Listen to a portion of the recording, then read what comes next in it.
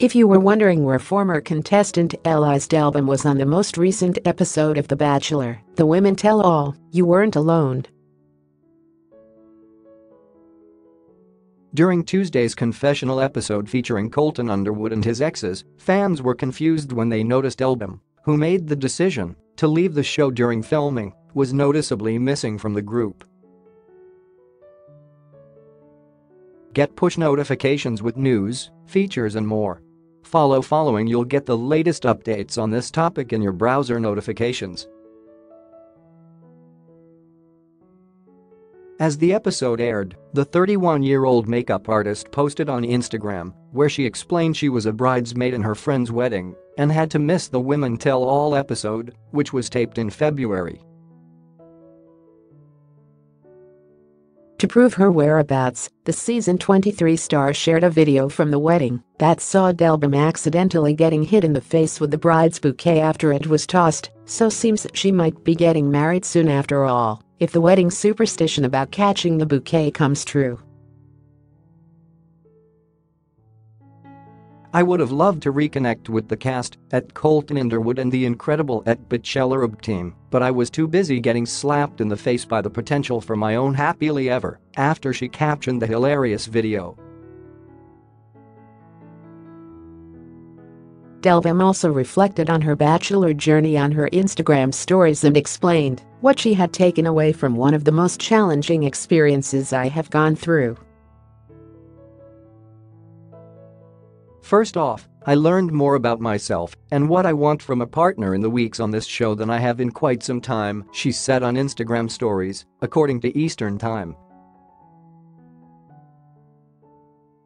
It challenged me in ways I never expected, it afforded me the opportunity to take a long look in the mirror and see what I needed to work on to be the type of person that my future husband deserves. During week 5, Dehlbom decided to quit the show while she was in Thailand with Underwood. At the time, Dehlbom told him, I want the time and attention that a relationship deserves. I can't accept a proposal after a few months of sharing your time and attention with other people. I left in a lot of tears and a dress that while I loved may have looked a bit like a wedding gown, she said on Instagram of her departure. However, I have absolutely no doubts that I was supposed to be on this season of The Bachelor.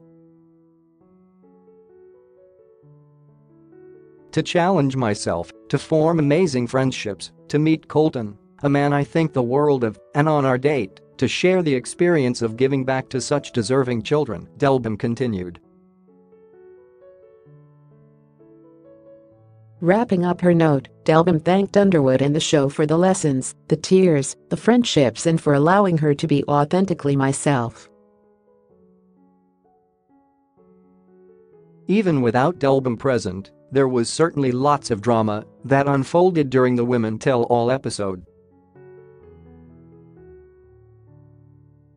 The special opened with some truly epic squabbling between everyone on the stage.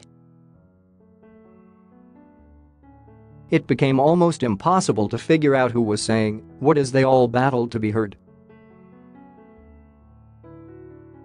Finally, Chris Harrison got a handle on things and viewers had an opportunity to hear from several of the women, as well as Underwood.